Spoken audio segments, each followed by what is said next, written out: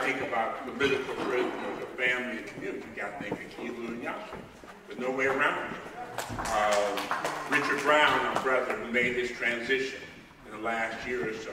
Uh, Richard Brown was like a soldier's soldier. If you looked in the dictionary under soldier, there was a picture of Richard Brown.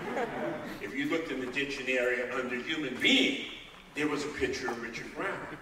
And these are some of the victories of, the, of what the Freedom Archives have done. If you look in the dictionary of liberation movements, of people supporting liberators, the, the work the Freedom Archives did around Oscar Lopez Rivera, who was able to walk, is another thing.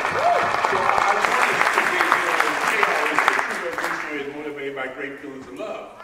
I want us to keep loving our communities and realize that when I'm up here asking for donations, the Freedom Archives is asking you to donate online, that they're not asking you simply to donate because you're in the jaws of the tiger. They're asking you to donate because this is a movement about love. It's about recognizing humanity. And, and to recognize the fact that we have had some victories, that we've had some things. Herman Bell.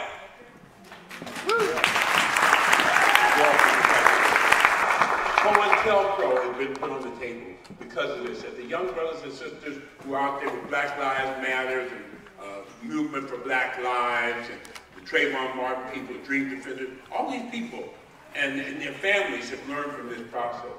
There was a event at the Black Panther Party, was probably about eight or ten years ago, and Tarika Lewis, who many of you may know as Tarika Lewis, many of us before knew her as Matilaba. Uh, I met Matilaba many years ago when she first came to uh, Marin City. Uh, we were all together working in collective. Matilaba came in and drew all over the apartment walls and we all got evicted.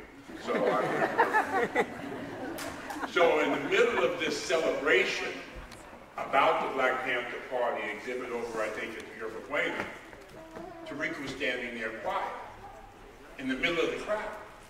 And at some point I walked said, Tarika, why are you so quiet? Why are you just standing here? She said, you know, Walter, she said, a lot of people didn't make it. And that, that's, that continues to stick in my mind. So we're supporting Freedom Archives because we lose organizations too. If you look around the Bay Area, there's some people who've done research organization, organization, they're no longer around. So making sure that Freedom Archives is around is part of that commitment. And I know that people are not wealthy.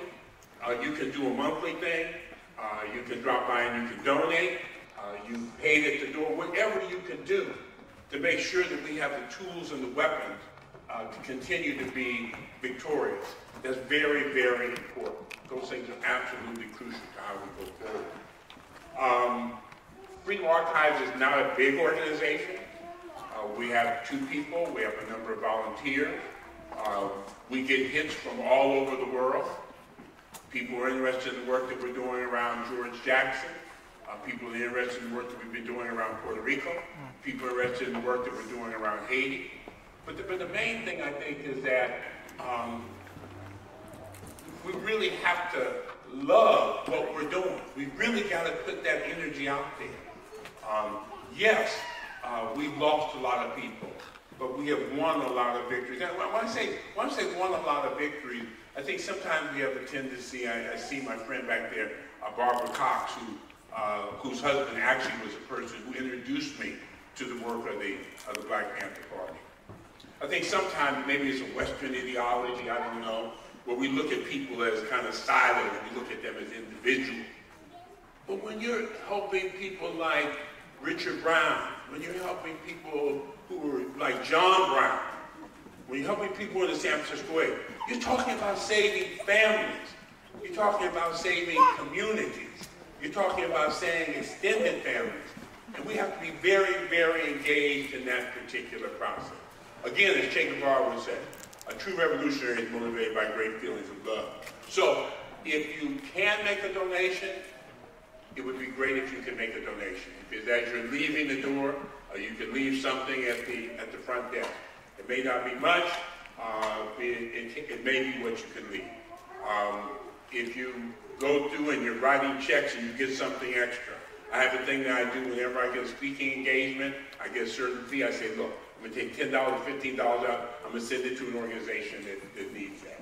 So whatever you can do to make sure that we're still here, um, being able to fight, um, being able to win, uh, being able to hug people, being able to save families, being able to talk about Palestine, being able to talk about Haiti, being able to talk about Colombia, being able to talk about Venezuela, being able to talk about Venezuela, being able to talk about South Africa, being able to talk about Cameroon, being able to talk about Togo, being, all of this.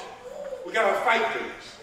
We got to fight for this. As Frederick Douglass says, you know, um, I'm honored to be here. I'm honored to be asked to speak on the day of Malcolm X, Yuri Kochiyama, and Ho Chi Minh. Lorraine Hansberry. As Frederick Douglass would say, power conceives nothing without a demand. It never has, and it never will. And we have to be the force that makes that change. Much respect. Thank you.